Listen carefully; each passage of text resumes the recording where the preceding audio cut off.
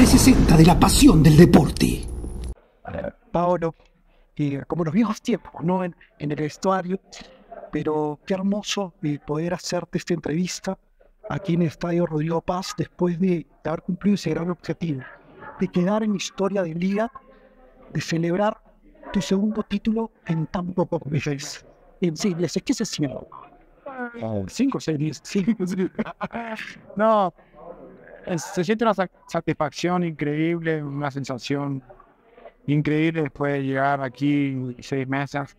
Eh, Dos títulos. dos títulos.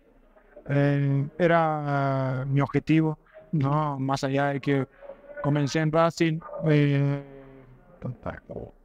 peleando, estuvimos peleando la Libertadores. Era mi mayor objetivo para el año, me había trazado, yo tengo que llegar a un equipo que fue Libertadores antes de yo firmar por Racing. Y dije claro, yo tengo que ganar la Libertadores.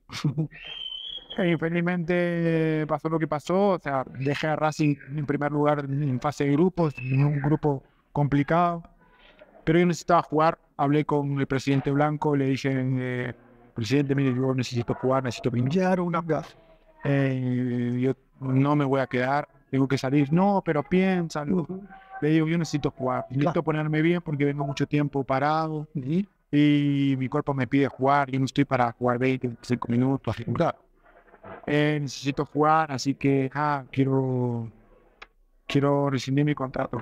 Sí. Y él me decía, pero piensa, mira, yo no puedo hacer nada, yo no tomo las decisiones de entrenador. Y le digo, no, no, no se preocupe, usted no tiene. Le digo, quiero rescindir porque yo necesito jugar. Y bueno, al final llegamos a un acuerdo y bueno, rescindí.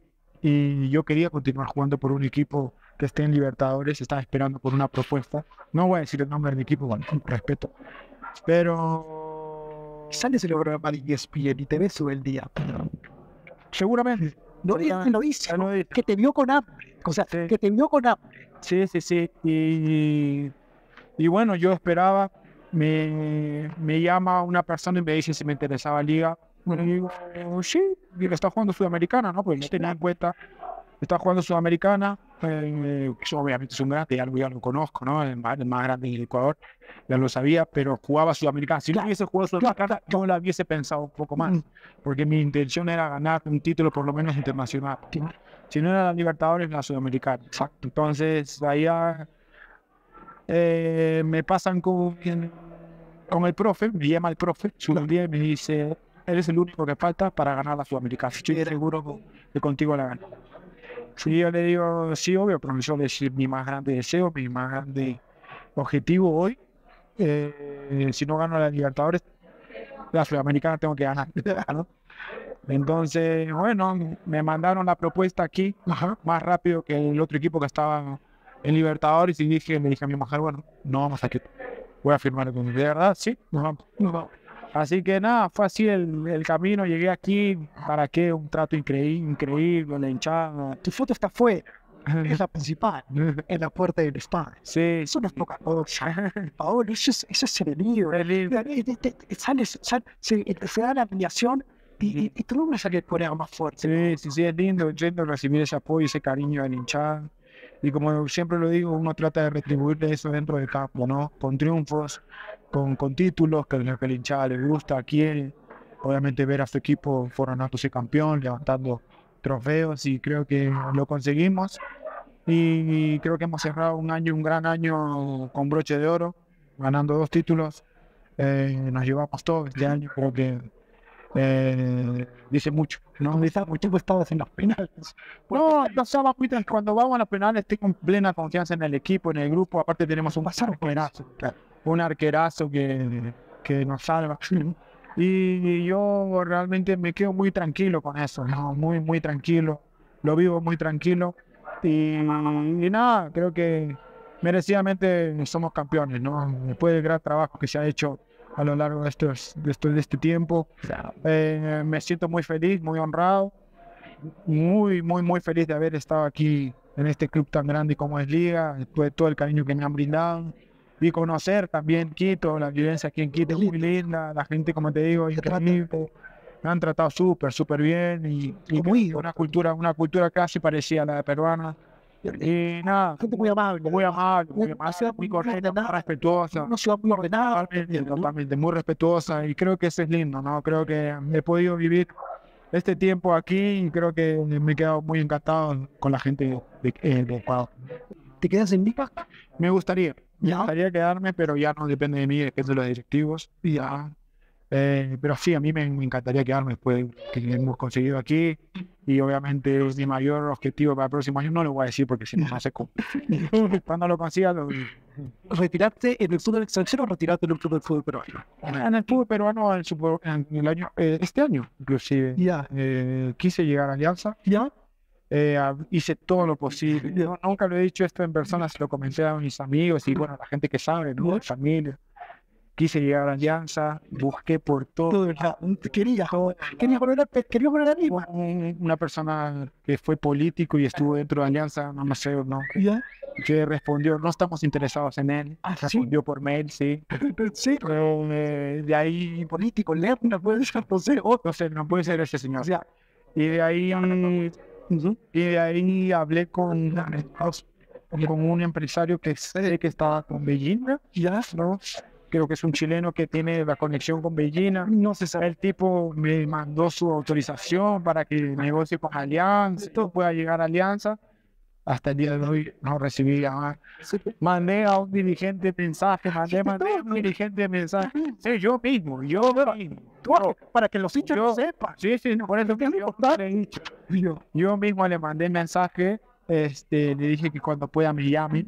Él seguro, si ve esta nota, Ya. va Está bien para que Sí, le digan, oh, porque dicen oh, muchas cosas que no oh. quería tú. Sí, oh, A ti, Paolo, capitán de la selección. Bueno, no, favor. sea quien sea. Igual, ¿Verdad? o sea, yo creo que no, no me se hicieron, pero, Se hará en un momento entonces. pero, no, no, o sea, yo no te puedo decir hoy por hoy. Volver a vivir. No, es que hoy, no, hoy por hoy no te puedo decir, porque obviamente busqué de, la- de todas las maneras y cuando no se da, no se da. O sea, Dios quiere, Dios, Dios sabe, en el futuro. Ya. sabe por qué. Yo siempre, siempre dejo las cosas a Dios. Y, y- y nada, al final creo que Dios conduce mi camino y es. Nada, ¿qué pasó? Paolo, no sé, el primer partido. Ah, ¿qué- qué- ¿cómo podría resumir? Porque, porque cuando se escucha analizar el fútbol a ti es lo que más me gusta. Sí, difícil de explicarte, ¿no? Una sensación de que ah, poco tiempo de trabajo, ¿Ya? llegaba con muy poco tiempo para trabajar, Ya. entender la idea a- una- a- al grupo, sobre todo entender un poco la idea a Juan. Eh, igual el grupo hacía lo posible, Claro. Juan intentaba trabajando día a día, metiéndoles ganas con todo su cuerpo técnico, el psicólogo, todos creo que trataban de apoyar, pero los resultados no se daban. Y el fútbol, infelizmente, hoy por hoy es así, Ujú. si no tiene resultados. Claro. Y una pena, una pena que no, no se haya podido conseguir los puntos que en realidad eran necesarios para estar en la pelea en el Mundial. Y, nada, una, yo me siento muy, muy apenado porque no, no, no conseguimos eh, hacer ese, ese clic con, con, con Juan, por decirlo así, porque obviamente los resultados no ayudaron. No, pero, pero bueno, el fútbol es así, seguramente va a tener más revancha, en algún momento se la va a cobrar y seguramente le va a ir súper bien a su. Y todo se enfocaba en la, res- la responsabilidad mucho al, al entrenador. El, el público, los periodistas también. ¿Cuánta responsabilidad tienen los jugadores? Eh, No, porque yo creo, siempre yo creo que honesto. sí, sí, sí, yo creo que los jugadores tienen mayor culpa, ¿no? Pero como te digo, en el fútbol hoy por hoy, si no, no, tiene buen resultado, Claro. ¿quién, quién es el responsable? Es más fácil cambiar a uno. Sí, sí, sí, exacto. Claro. No, los jugadores siempre van. Eh, pero yo creo que nosotros los jugadores tenemos, tenemos la culpa, tenemos la mayor responsabilidad, porque nosotros somos quienes estamos dentro del campo, ¿no? Pero bueno, como te digo, una pena que no se haya logrado el objetivo, lo que se quería, la, entenderle la idea a Juan. Y, y nada, desearle lo mejor a Juan, al cuerpo técnico, a los profesores, ¿no? que, que le vaya súper bien. Seguramente le va a ir súper bien en su carrera, en, todo lo que él hará, porque es una gran persona, es un gran entrenador. Y bueno, así que nada, con respecto a eso. Estamos, estamos a tiempo de cambiar el, el timón y- y poder clasificar al mundial. Sí, yo creo que sí, yo creo que sí, falta muchísimo. ¿no? Uno no se puede dar por vencido, no puede, no puede bajar las manos, ¿no? mientras que haya posibilidades y que se mantenerse luchando. Porque hay 6.5 cupos, hay más Sí, como te digo, mientras haya posibilidades, uno tiene que mantenerse luchando. Entonces yo creo que no se puede bajar las cosas. ¿Qué tendría que cambiar, crees ti? Volver a ser más el, para ser, volver a ser el equipo que éramos con Gareca.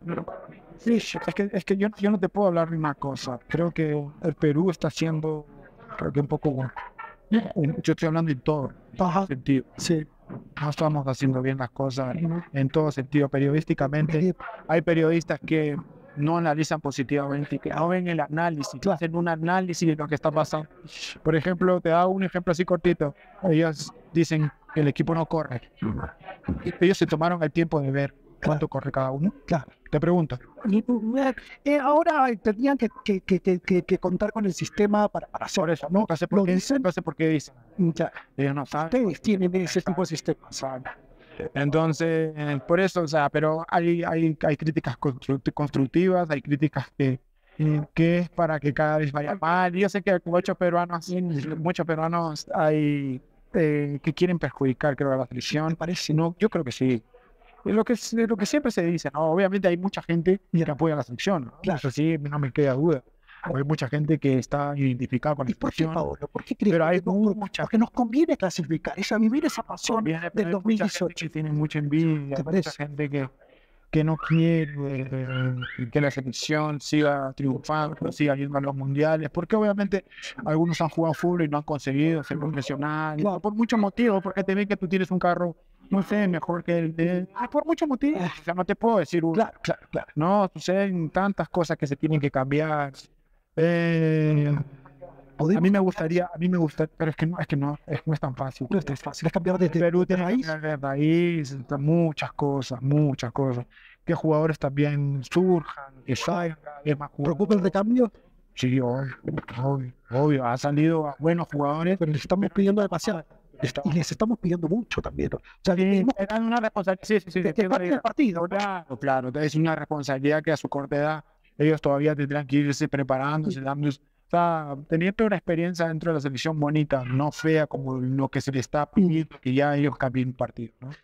Gracias por haber visto este video. No te olvides de dejar tu like, suscribirte al canal y activar la campanita para que te enteres cada vez que subimos un video nuevo o hacemos una transmisión en vivo con un protagonista del deporte. Además, muchas gracias por ser parte de esta comunidad donde vivimos el 360 grados de la pasión del deporte.